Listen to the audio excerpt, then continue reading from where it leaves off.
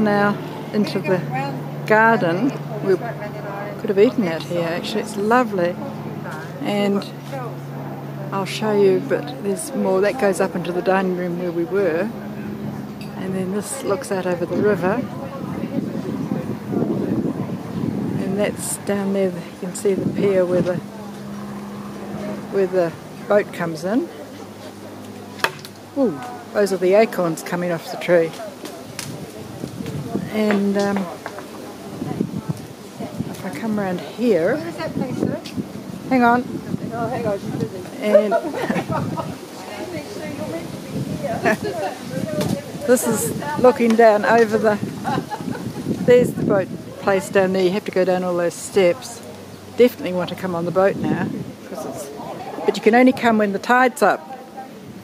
And then this goes all the way down, and then there's buildings in here where they have bar. Well, it's extended a lot since I was here last. And then right round here, not many people because it's a weekday. Quite a few in the dining room today. Um, here's the top of the harbour. Right round, is Barbara and Fran. Over to the garden.